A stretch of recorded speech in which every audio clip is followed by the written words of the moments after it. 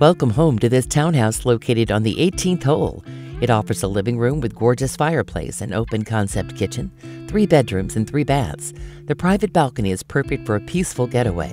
The gated community offers the golf course, tennis courts, pools, pickleball courts, and is within walking distance to Monroe Lake. Your new home is just a phone call away. Call Natasha Johns for more details.